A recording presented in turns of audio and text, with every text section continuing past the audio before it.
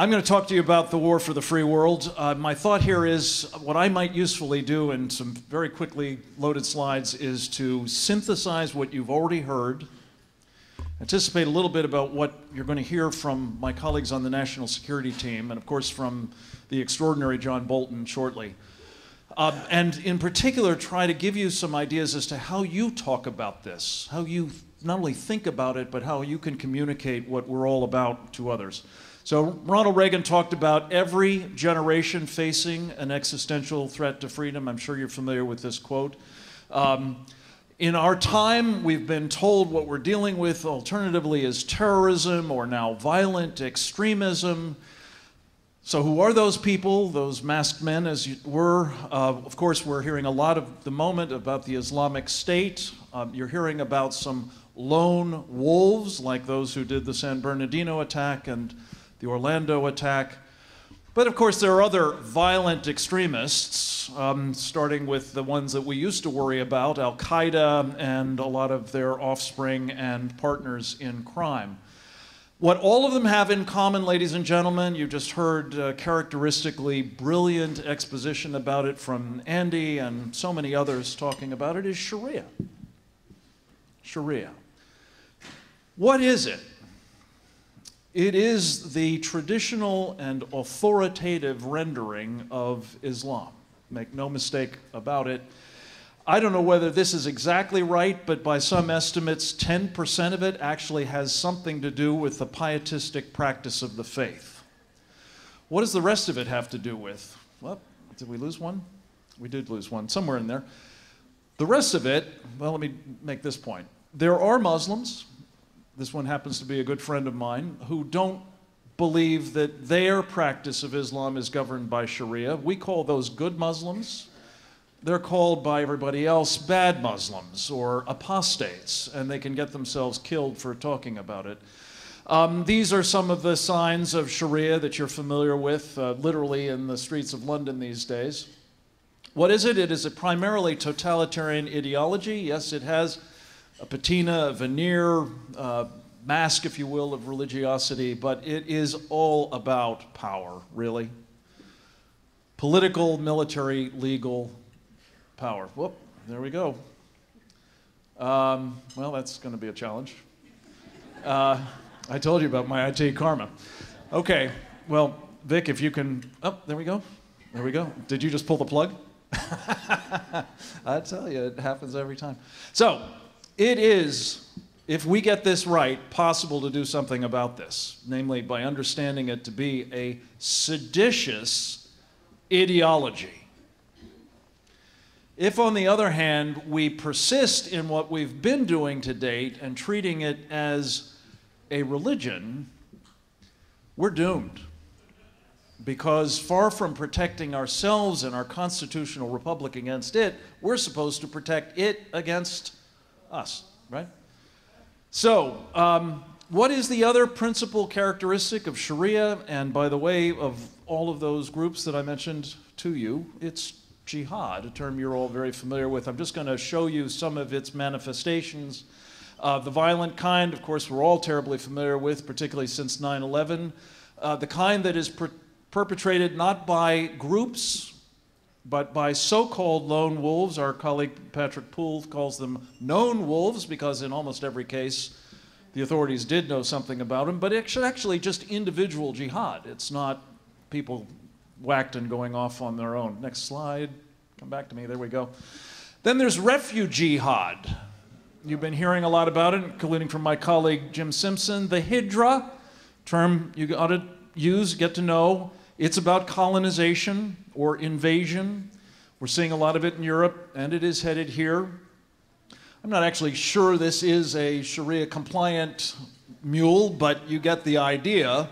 When you see Hezbollah and Hamas, and for that matter, the Iranian Revolutionary Guard Corps and others engaged in major international drug trafficking, think about that as a kind of jihad too a taking down of our society that makes everything else that they're up to easier to do. And by the way, One of the really insidious pieces of all of this is when you hear Barack Obama and Paul Ryan talking about letting more felons out of jail because they're nonviolent drug offenders.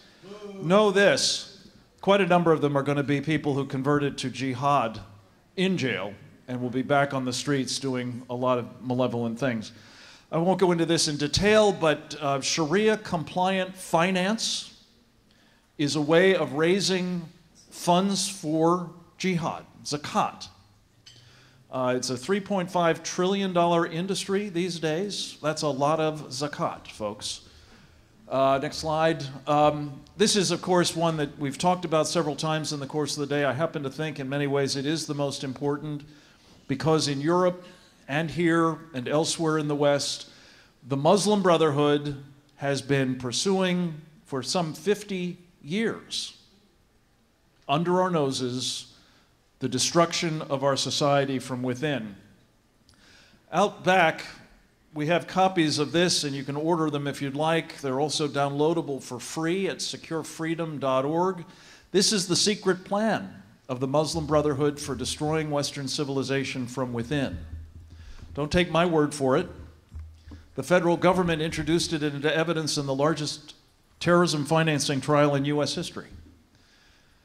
And the Holy Land conspirators were convicted in no small measure on the basis of this. The beauty of it is, ladies and gentlemen, I didn't write it, Steve Coughlin didn't write it, Andrew Bostom didn't write it, none of us wrote it, the Muslim Brotherhood wrote it.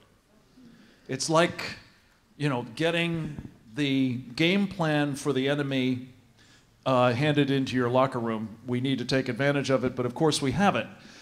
And this is the money quote from it that tells you exactly what the mission of the Muslim Brotherhood. The Muslim Brotherhood in America is to quote destroy western civilization from within by the infidels' hands and the hands of the believers so that God's religion is made victorious over all other religions.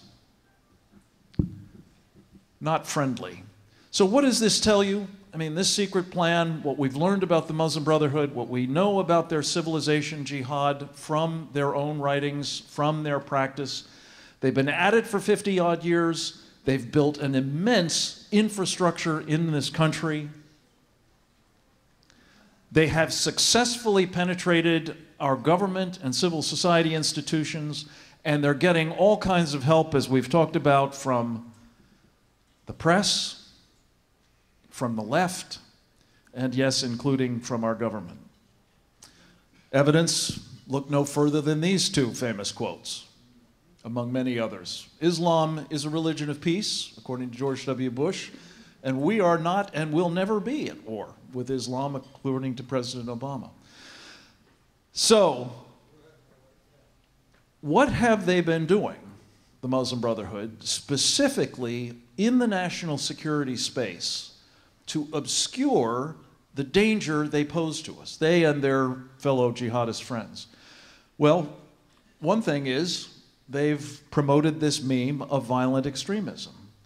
Let me just show you a couple of slides that I hope will help explicate what has brought us to the present pass.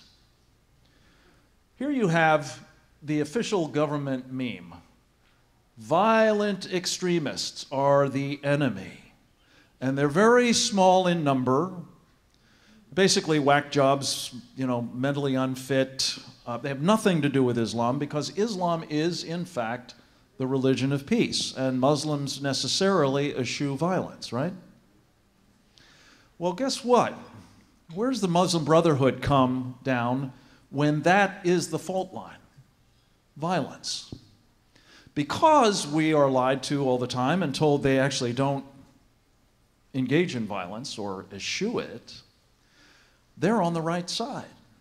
So we can safely bring them into our councils. We can, in fact, do what the administration has been doing, Republican and Democratic, take guidance from them on the nature of the war and what we can know and say and do about it. Well, guess who they actually think are the violent extremists that we need to be most concerned about? Us! You got it. You conservatives, you constitutionalists, you Tea Party people, you, oh, I don't know, gun owners. Can't have that. That's violent extremism. So look over here, folks, not at the problem, look at those conservatives and so on.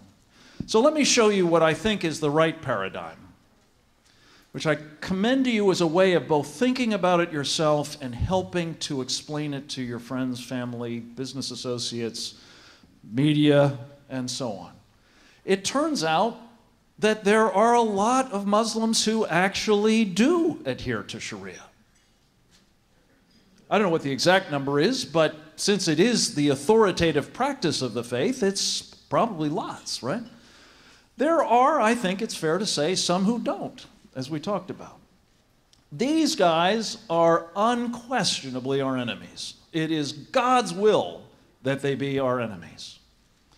These people, to the extent they amount to anything, might be our friends. I think there are some who genuinely are and some who might be. If we stop incentivizing people by being part of this community, by understanding that this fault line really is the one that operates. And guess where the Muslim Brotherhood comes down on that? They're on the wrong side. So if we have in fact allowed them to determine our national security posture towards jihad, we're toast. And we're still in that mode. Um, I'm happy to report that some of our colleagues had a very important opportunity to testify before Senator Cruz at the end of June about the practice that has been cultivated by the Muslim Brotherhood, namely willful blindness. And uh, this nitwit, uh, our Secretary of uh, the Department of Homeland Security happily tumbled along two days later and basically confirmed everything that had been said. Uh, as had been mentioned, I think at one point, we're not out of the woods. We have folks on the Hill who think we need to embrace this countering violent extremism project and keep throwing money at it. Um, I'm hoping that next month these guys will agree to do something different, which is chart a new course. Um, and in closing, let me just show you what I think that new course must be. Specifically, we need to get this right. We need to defeat this enemy and we need to make sure that the commander in chief that we elect in November has a mandate to do just that. I'm very pleased to say that this man. 13 minutes for everybody? For me? Okay. I, math is not my long suit, so you need to do a countdown. Um, I just want to say, come back to me. Um, radical Islam, he is identified as the threat. This is in the Youngstown speech last Monday. He has identified, not quite so many words, but he did mention Sharia, Sharia supremacism as its ideology, which we have to counter. He has talked about the need for a comprehensive counter ideological strategy. I heard distinct resonances to the one I helped in a small way. My old boss, Ronald Reagan, used to defeat the last totalitarian ideology that tried to take us down Soviet communism. He pledged to keep people out who don't share our values. Hey. And then, last and not, not least by any means, given what we've been talking about and what we will in this panel, he talked about the networks that support radicalization. The networks that support radicalization in the United States are basically that Muslim Brotherhood infrastructure that I talked about. They're mosques, they're Islamic societies, they're Islamic cultural centers, they're front organizations, they're influence operations. If we get ourselves a commander in chief who understands the mortal threat they represent, which is, by the way, discussed at length in a book that we also have out there and available on order, See No Sharia countering violent extremism and the disarming of America's first lines of defense. Well, if we get a commander in chief who's actually going to do what he talked about in Youngstown on Monday, we got a shot. Here's the point. The capstone of that speech by President Reagan, he said many of the same things repeatedly, but in 1961 he said, if we don't fight this existential war for freedom in our generation's time, we will be reduced to telling our children and our children's children what it was like to live in a United States when men were free. I dare say you are here because you don't intend to do that. Neither do we. I'm proud to be with you. Thank you very much.